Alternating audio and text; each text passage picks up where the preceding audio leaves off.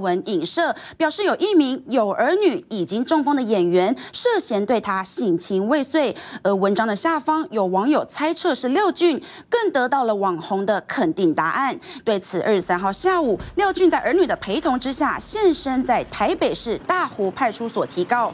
他表示，事件后几天，他陆续收到了厂商来电关切，渐渐影响了到即将曝光的代言。如果代言真的因此被撤，损失恐怕。达到一百万元，加上网红事后有和六俊澄清，文章所影射的对象不是他，不过又另外牵涉到其他艺人，因此他认为网红必须为自己的言论跟行为负责，决定对他提出告诉。